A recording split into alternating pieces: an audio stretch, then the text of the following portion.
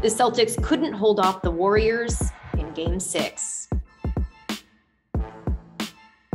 It was a gut wrenching ending to the Boston Celtics season as the Golden State Warriors finished with a 103 90 victory to become the 2022 NBA champions. The Celtics looked promising from the jump as they opened on a 12 2 run and trailed by just five points at the end of the first quarter.